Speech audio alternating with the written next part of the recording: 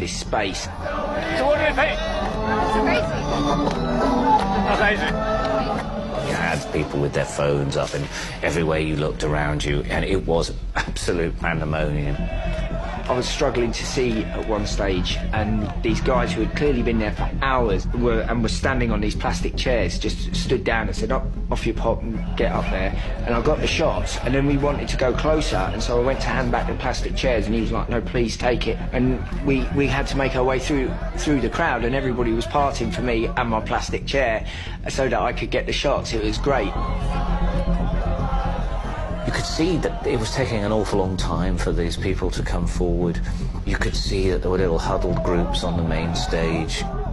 And then the sort of addresses to the crowd became more like, we have to stay on the streets, we have to keep fighting for the revolution, uh, that things aren't going absolutely perfectly. The military doesn't want to, to, to, to give it to civilians. So you're worried that this is, Yes, yeah, I'm- it looks good, but it doesn't, it's Yeah, not yeah, there yet. yeah, exactly. It was pretty amazing how quickly it switched, actually. We eventually uh, sort of extracted ourselves from the crowd. We're heading back to the hotel, and uh, the in the the radio in the car was on. Uh, Gailey, who was our, our producer, started translating for me. Wow. So there's problems. Negotiations have broken down. So not good. No. The revolution continues. Did this mean that the military would impose itself on, on, on the crowds? Did this mean that they would actually have to go back to the streets and to die again?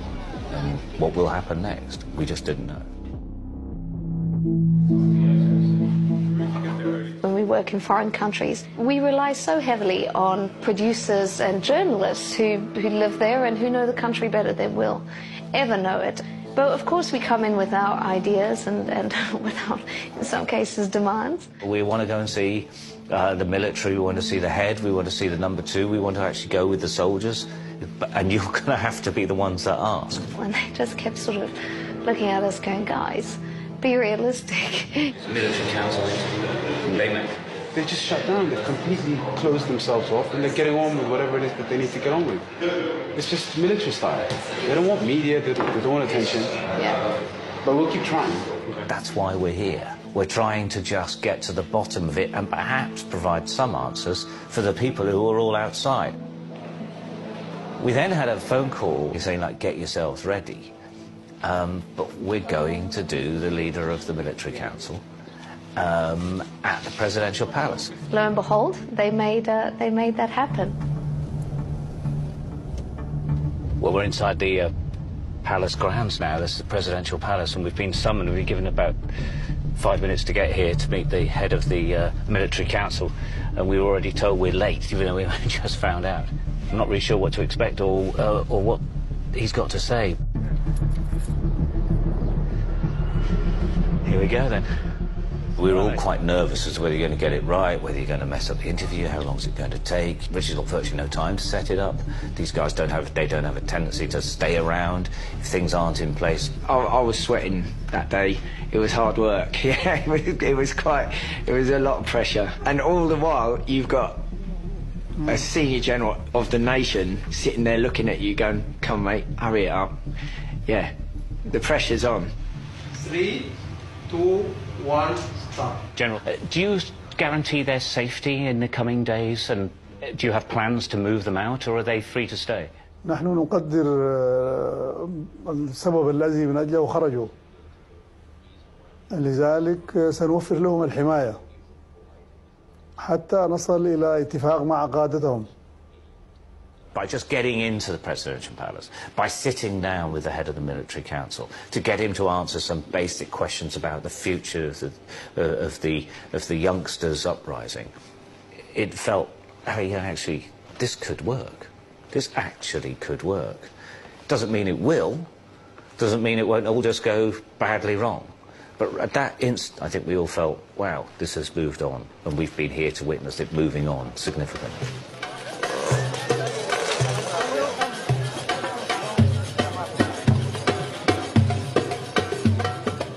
Those last days of us there were, was, a, was a sudden massive change. It was the bit that we realised we'd come, it had been high, it had gone low, and it had gone really high again. And it was hard to imagine that plateau being dropped off significantly.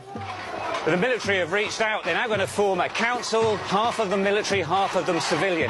And after that, they're going to make a government, a prime minister, a deputy prime minister, and cabinet ministers. Now, this is a massive jump because it is these people who will decide who makes up that government. It's unheard of here for the last 30 years. It's been a military dictatorship. We are looking for a good things, for a good leaders. We are looking for a peace. It was very clear that they were anything but deflated, and these people were not about to give up anytime soon.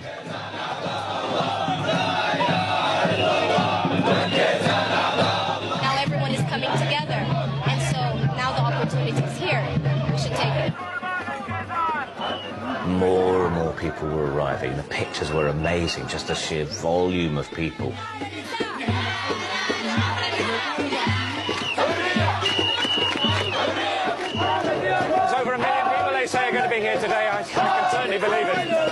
Trucks with people and flags and singing and chanting. There were big um, sort of human snakes going along with big flags on top of them.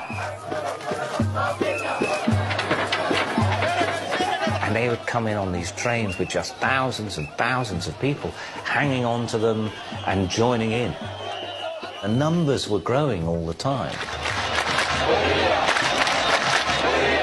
That was the moment, that was it, that was the sort of everyone around you believed, right, the talks were back on, and more of us are arriving by the minute, so we're not going to give in. It was really a privilege. It felt like a privilege. I kept pinching myself. To be here in this moment that was so important to the next generation, to the younger generation of Sudanese. This moment where they thought our future is going to change. And they are, they are so, so, so determined to not let it go, to not lose their revolution. May be wrong, but I've got, you know, no doubt they're going to achieve what they've set out to achieve because, you know, they, I've not seen determination like that very often in my career.